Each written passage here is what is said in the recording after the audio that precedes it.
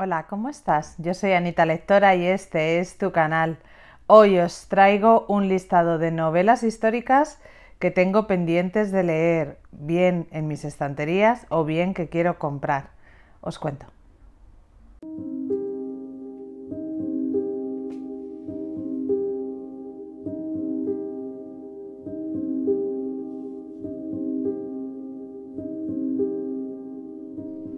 Ay, hola lectores, ¿cómo estáis? Pues yo alucinando, la verdad que queréis que os diga, porque que la niña sea eficiente y me esté mandando así vídeos en pum pum juntos y que yo me pueda así opinar en un par de ellos, todo juntito, y que vaya a ir en dos meses. Bueno, bueno, bueno, bueno, es que no doy crédito, creo que estoy haciendo, estoy haciendo a esta niña muchísimo más responsable. No sé vosotros cómo lo veis. Pero bueno, venga, vamos aquí con la matraca de lo de el mayo histórico. Y matraca no quería decir esta cosa interesante. Ya sabéis que uno cuando se pone a leer un género, pues al final vienen un montón de recomendaciones, te sugieren un montón de cosas y te van creando necesidades. Y yo la verdad es que necesito poco estímulo para que me creen necesidades. Sí es cierto que, bueno, la lista de libros que me gustaría leer y todo eso es interminable, pero hay una serie de libros que me vienen rondando que son de temática histórica y que yo llevo teniendo ahí puesto el ojo, pero sin añadir a la wishlist porque luego me da vergüenza la wishlist que tengo. Pero la verdad es que hay una serie de libros, de novelas, pues que me gustaría muchísimo leer. Y hoy estaba pensando, digo, bueno, les voy a contar cuáles me gustaría leer. Yo veo que tengo un público muy leído a ver si me pueden dar recomendaciones sobre estas novelas, impresiones que les ha parecido. Por ejemplo, en los comentarios de uno de los vídeos anteriores, la novela de Sostiene Pereira, que es una de las que me compré dentro de eh, las, las, ofertas que había pues, en mi colegio de libros y tal, He tenido un montón de comentarios positivos sobre esa novela, un montón de personas, un montón de vosotros me habéis dicho que os gustaba muchísimo esa novela y que merecía mucho la pena leerla y la verdad es que me ha creado una necesidad de leerla eh, bastante grande. Eh, pero yo ya tengo mis propias necesidades. Os voy a ir contando un poco cuáles son y como hay varios de ellos que no los tengo, pues bueno, iré poniendo la novela por aquí.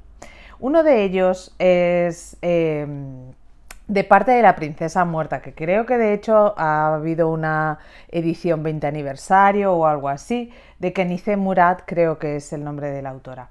De parte de la princesa muerta nos lleva a Estambul, eh, cuando básicamente a, partir de la Primera Guerra Mundial pues se desmorona lo que es el Imperio Otomano y entre otras cosas, pues bueno, hay una revolución, va a haber una revolución y lo que ha sido la dinastía durante mucho tiempo, pues se tiene que exiliar con todos los cambios, la caída de los grandes imperios, etc.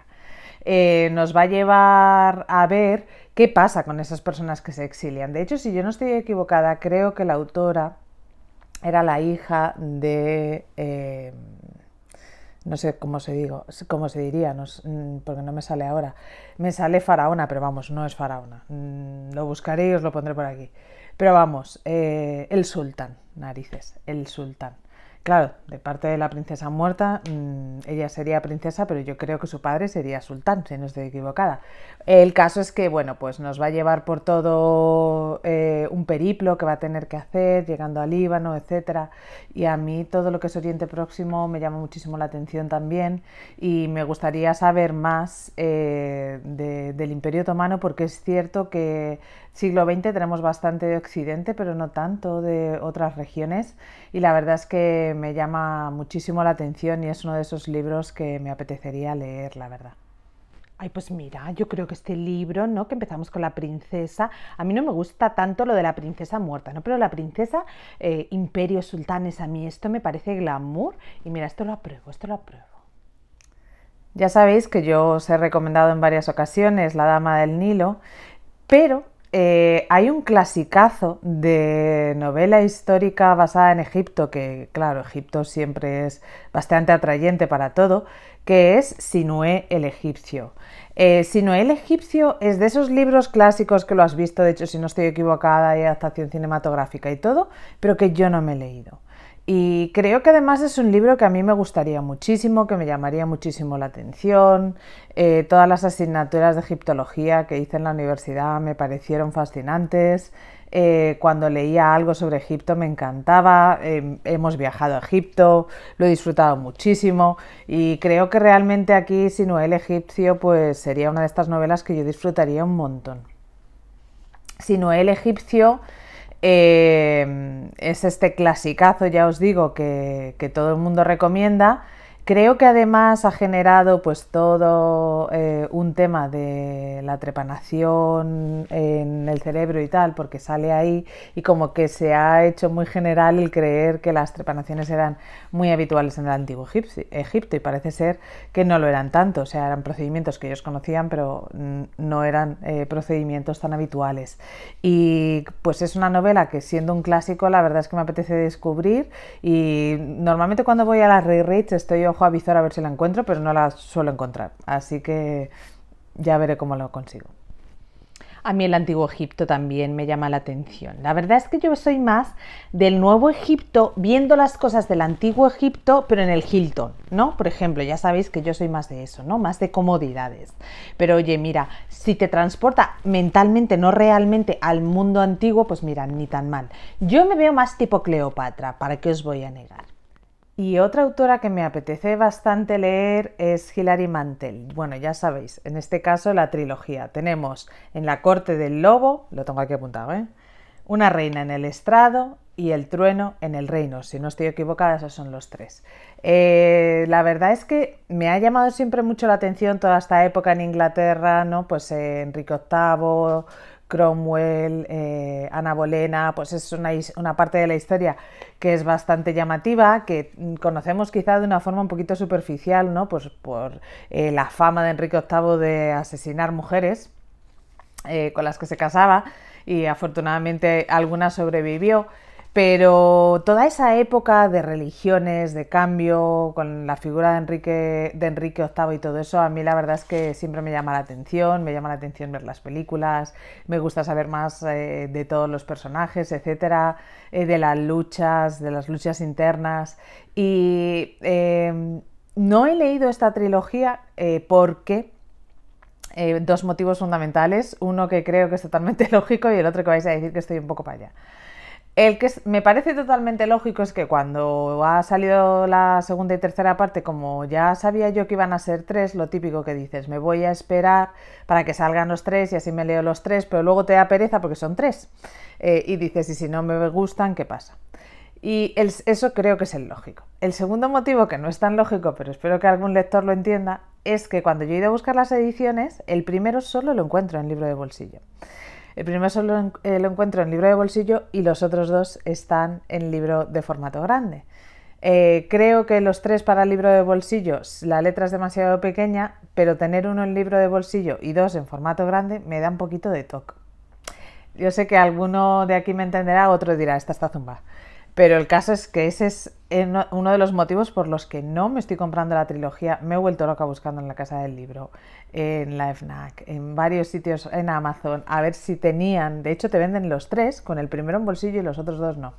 Em, y me da a mí un terele. Así que creo que los voy a buscar en Wallapop o algo así, a ver si tengo los tres en el mismo tamaño, o por lo menos encontrar el primero en Wallapop y luego comprarme los otros dos porque la verdad es que me llama la atención. Eh, investigando un poquito para mm, sobre qué iba, bueno, yo sabía sobre qué iban los libros, pero la publicación, el nombre de los tres, etcétera, pues eh, he leído que la autora ganó el Booker Prize, que es un, pues bueno, yo creo que es más o menos a lo mejor como puede ser el planeta en España eh, para los libros en inglés. Pues esta autora ganó por el primero y por el segundo, con lo cual se convirtió en la primera mujer en ganar los dos.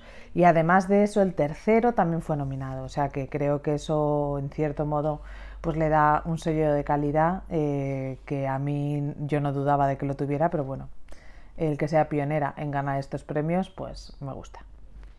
Os digo yo que esta niña tiene alguna que otra tarita, ¿eh? Mira, yo creo que es mejor idea, nena, que con todos los pendientes que tienes, pues no te compres ninguno. Así no tienes el problema de las distintas alturas, no te tienes que poner a buscar los libros en ningún sitio. Y hija, ya proveerán, si no, búscalos en el biblio o algo de esto. y os traigo tres novelas que tengo en mis estanterías, tengo bastantes más, pero estas tres eh, de momento son las que más me llaman la atención. Eh, una lleva muchísimo tiempo en mis estanterías y se llama Cualquier otro día de Dennis Lynn. Os leo un poquito la sinopsis. La epidemia de gripe que provocó miles de muertos en Boston, en todo el país, la gran huelga de la policía que acabó con los célebres disturbios de 1919, los primeros intentos de la población negra para ganarse su libertad, la inminente instauración de la ley seca, los triunfos de Babe Ruth, el primer, gran mito del béisbol. Cualquier otro día conforma un colosal fresco histórico y convulso Estados Unidos de los años previos a la Gran Depresión. Pues bueno, a mí todo lo que va entre Primera Guerra Mundial y Gran Depresión, años 20 y 30, me encanta. Es cierto que mm, previos a la Segunda Guerra Mundial tienes muchísimo situado en Europa por todo el interés que generan los sistemas autoritarios de la época, pero de Estados Unidos sabes menos.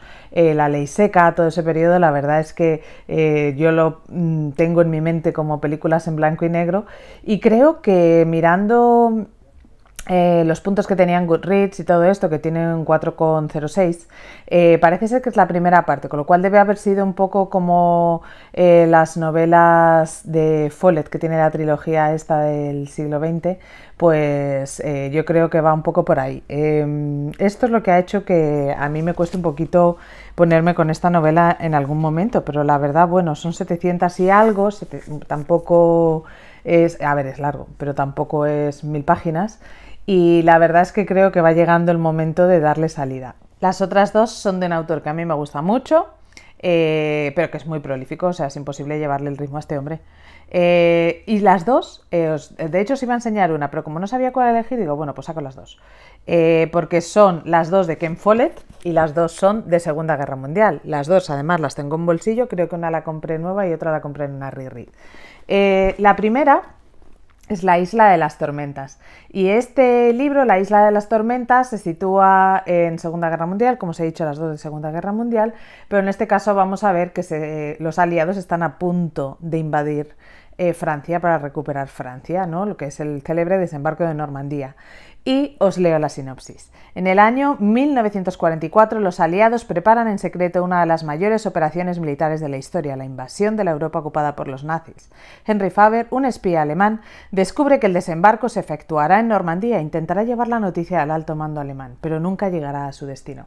A mí este toque que le mete Follett, siempre tipo thriller e histórica, es que me encanta, porque es que eh, combina lo mejor de la novela histórica con lo mejor del thriller, con lo cual yo, Living, ya sabéis que son dos géneros que yo amo. Y la segunda es, eh, se llama El hombre de San Petersburgo, también Segunda Guerra Mundial. Os leo la sinopsis. En 1914 el mundo estaba en vísperas de la Gran Guerra. Ah, bueno, pues está en Segunda Guerra Mundial. Me acabo de dar cuenta de que es primera. Pues bueno, mira, variado. Eh, tanto Francia e Inglaterra como los imperios centrales trataban de conseguir el apoyo de Rusia, que podía decidir el desenlace de la futura contienda. En esos instantes cruciales de la historia, Lord Walden y el joven Winston Churchill esperaban la llegada del príncipe Orlov, enviado del zar en misión secreta. Pero el príncipe no fue el único en llegar a Londres, pues un enigmático personaje procedente de Siberia le seguía los pasos. El hombre de San Petersburgo es una de las novelas más apasionantes del célebre autor de Los Pilares de la Tierra. Pues mirad, una de primera, una de entreguerras que os he enseñado justo antes y una de segunda. Vamos, que me meto un paseíto por, la primera mitad del siglo XX, pues bastante interesante.